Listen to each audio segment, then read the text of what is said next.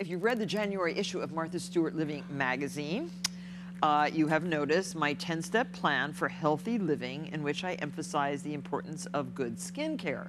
And as I mentioned earlier um, on the show this week, I uh, like to experiment with many different products. And I would like to share another one of my recent finds, my must have for today. It's Dr. Hauschka, and I don't know if you know about Dr. Hauschka products, uh, but they have a very holistic approach to skincare. Uh, this uh, Regenerations serum is part of my daily regime. I use it every morning and every night. I like it because it hydrates my skin and leaves it feeling firm and refined and smooth.